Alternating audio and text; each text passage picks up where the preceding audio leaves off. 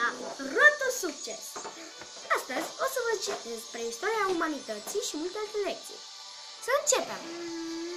Idei cheie Preistoria umanității a început odată cu apariția omului și s-a sfârșit cu apariția scrierii și a organizării statale. Se împarte în epoca pietrei, paleolitic și neolitic și epoca metalelor.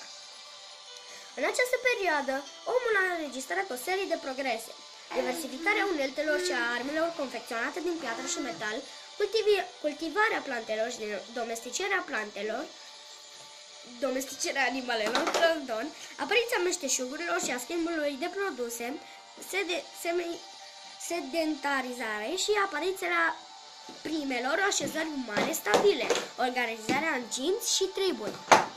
Difer, diferențierea socială, apariția scrierii, a primelor și credințe și a primelor forme de artă. Cuvinte cheie. Gintă, grup de oameni care provin dintr-un strămoș comun. Familie monogamă. Familie formată dintr-un singur baba, bărbat și o singură femeie. Sedentarizare, proces de trecere de la viața nomadă la viața stabilă, într-un singur loc. Viața nomadă era, cum să vă zic, proces de trecere de la viața nomadă la viața stabilă, într-un singur loc. Misterul tablițelor de lut de la Tărtăraia. Tărtăria, pardon. În anul 1961, arheologul clujan Nicolae Vlasa a descoperit în Transilvania, în localitatea Tărtăria din județul Alba, între Alba Iulia și Orăștie, trei tablițe de lut, dintre cele care două foto sunt acoperite cu reprezentări stilizate de animale, copaci și diferite obiecte. Cea de-a treia, în formă de disc, cuprinde patru grupuri de semne despărțite prin linii. Studiind cu atenție scrisurile de pe aceste tablițe, cercetătorii au constatat că ele seamănă foarte mult cu scrierile de pe tablițe descoperite în Mesopotamia, la sumerieni.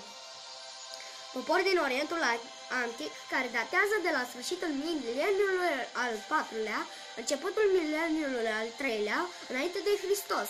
Pornind de la aceste observații, specialiștii români au formulat ipoteza conform crea și tablițele de la Tărtăria ar fi, ar fi vestigele ale unei, un, unei scrieri vechi.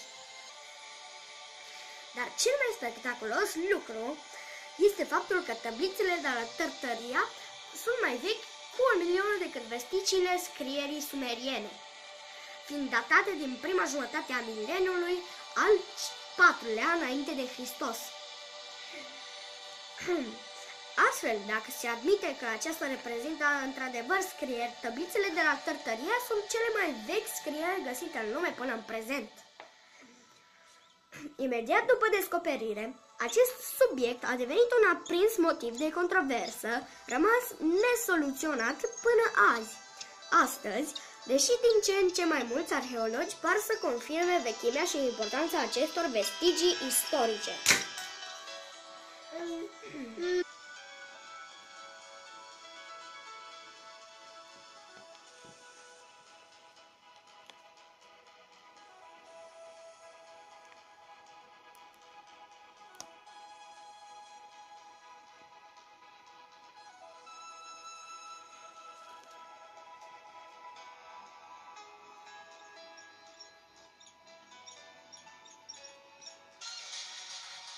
Orientul Antic Idei cheie Istoria Orientului Antic se reconstituie prin istoria popoarelor care l-au locuit.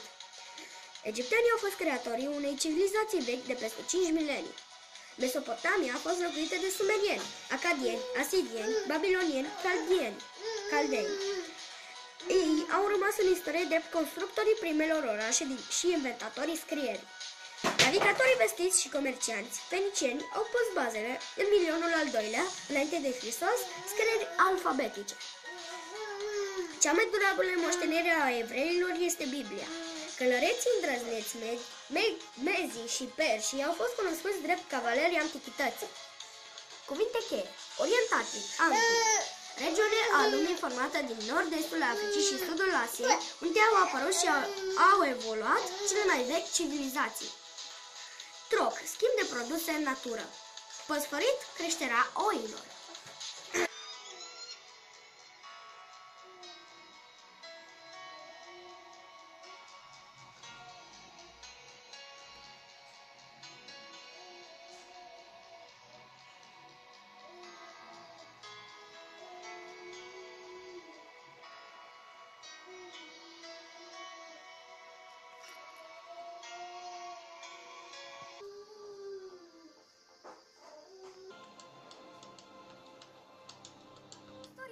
Astfel.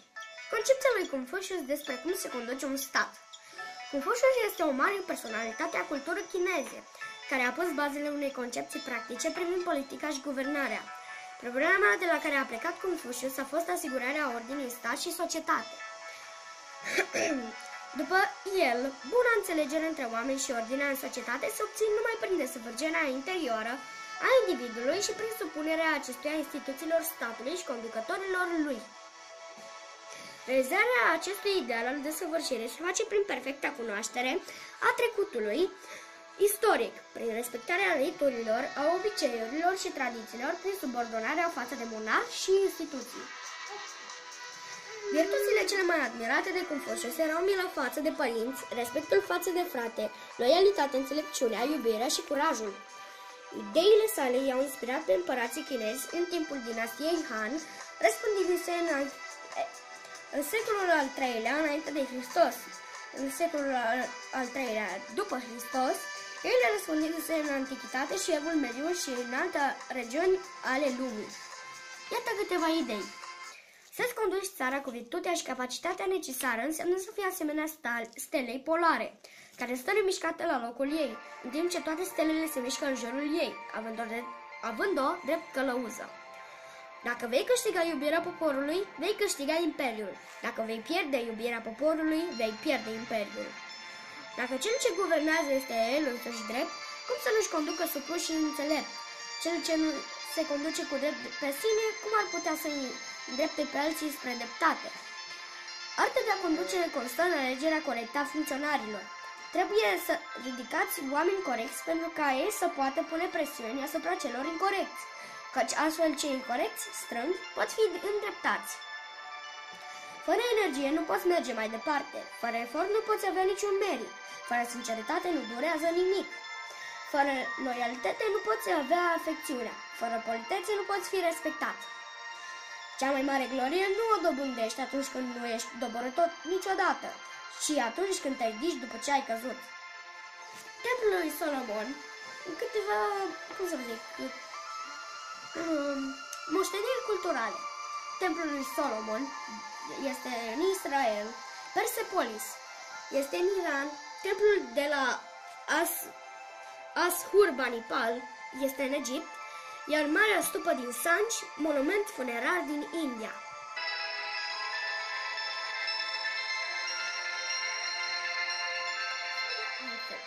Standardul orașului Ur, povestea unui oraș și valorile lui. Povestea orașului Ur din Mesopotamia este povestea unuia dintre primele orașe cunoscute în istorie. Zona ora, ori, orașului Ur, situată pe malul fluviului Eufrat, a fost populată la început mici sate cu puțini locuitori. Atât viața economică înfloritare datorită râului, cât și descoperirea cărămizilor de lut arse la soare au facilitat evoluția civilizației și trecerea la viața de oraș. Casele care erau construite din cărămide cu diferite elemente de lemn, care le asigurau rezistența.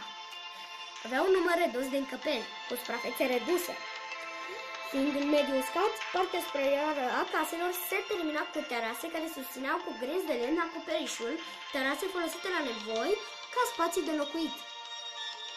Deschiderile spre exterior erau puține și mici din cauza climei calde și a materialului de construcție. Locuințele aveau în schimb curți interioare. Clădirile erau în mare parte lipsite între ele, cu puține spații de trecere. Străzile erau folosite pentru circulație, dar și ca loc de întâlnire sau pentru desfășurarea unor activități de natură socială.